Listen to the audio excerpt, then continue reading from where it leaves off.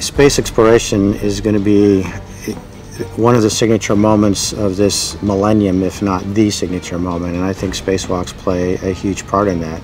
Doing a spacewalk is an incredibly choreographed ballet that really starts with training, you know, many, many, many days, months um, before you actually do the event.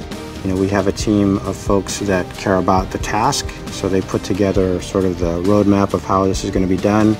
We have a team that cares about the suit and the system, so that means the tools as well as the spacesuit itself and the process of getting into and out of it.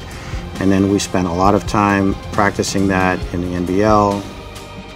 What amazes me most about the spacesuit is that it is able to protect a human being from all of the things that would kill it. The lack of oxygen, the lack of an atmosphere, i.e. no pressure, the radiation, um, all of those things are you know, mortal in their own right.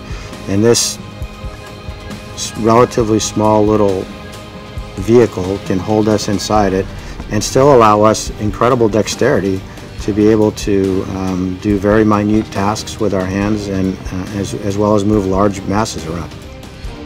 Hi, I'm Michael Lopez Alegria. Suit up with NASA for the journey to Mars.